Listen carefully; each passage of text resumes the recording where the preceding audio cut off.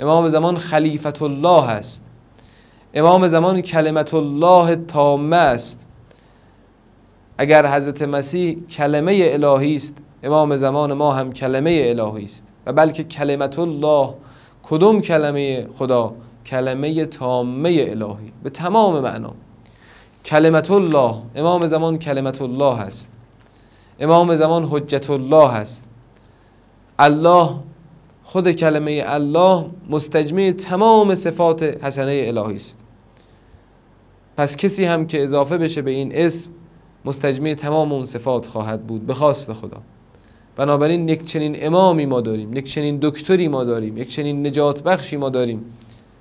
اگر می‌خواهید زندگیتون آرامش داشته باشه اگر می‌خواهید بچه هامون و فرزندانمون خوب تربیت بشن و استرس نداشته باشن پریشانی نداشته باشن همیشه امیدوار باشن. باید دستشون رو بدید دست آقا امام زمان. باید, باید اونها رو با امام زمانشون با قلب وجودشون با قلب عالم امکان آشنا کنید و معنوس کنید. اگر این اونس برقرار بشه اگر این رشته اتصال پیوند بخوره بین ما و امام زمان دیگه ما ناراحتی نخواهیم داشت.